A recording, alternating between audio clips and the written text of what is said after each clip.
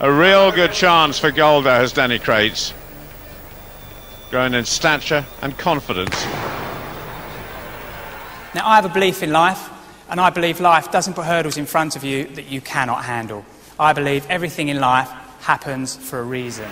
Well, Danny Crates has got the pedigree, certainly. He looks very comfortable at uh, 200 metres. They've slowed just a little, and that was probably uh, Danny Crates um, instigated that.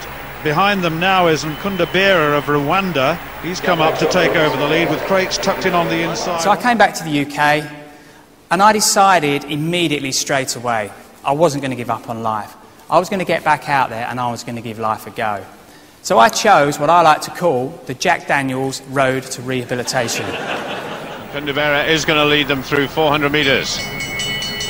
They hear the bell. Danny Crates sitting comfortably in second place. Being led at the moment by Rwanda's Kundabera.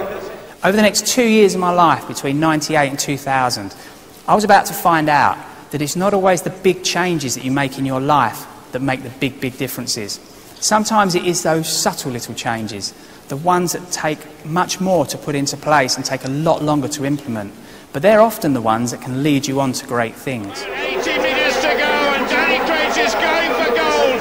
There is at all who is the best 800 metre runner in the Paralympics. It's Danny Crates of Great Britain. He absolutely tore the field apart. He did some real damage in that last 200 metres. And so the Corringham fan club of Danny Crates can go wild now. And that is exactly what they're doing.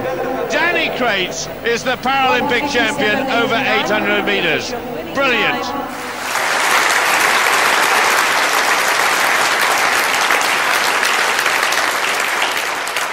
Achieve an ultimate goal in life, whether that be in sport, business, or life in general, what do you do next?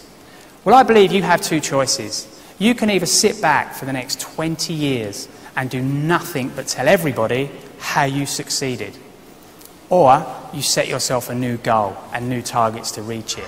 So here we go with Great Britain and Danny Crates. What a wonderful moment for the Thurrock Harrier. I bet his training group down in Thurrock will be absolutely adoring this moment, as was Sir Phil Craven there, sitting up in the stand. It's an amazing opportunity, um, especially with London just four years away. It's actually Danny looks very emotional, doesn't he? Looks a little bit of you can't describe what this moment's like when you're in front of the whole British team. You've got all the Union Jacks in the crowd, um, and it's it's very richly deserved for Danny Crates. I urge you, never be scared to make decisive decisions in your life because you do not know which defining moments they can lead you to, and you don't know where they can lead you to. But to achieve all this, I think you have to live your life by one simple rule, and this is how I try to live my life. I believe we should never dwell on life's mistakes and misfortunes. We should learn from them, we should move on, and it will make you a much stronger and a better person.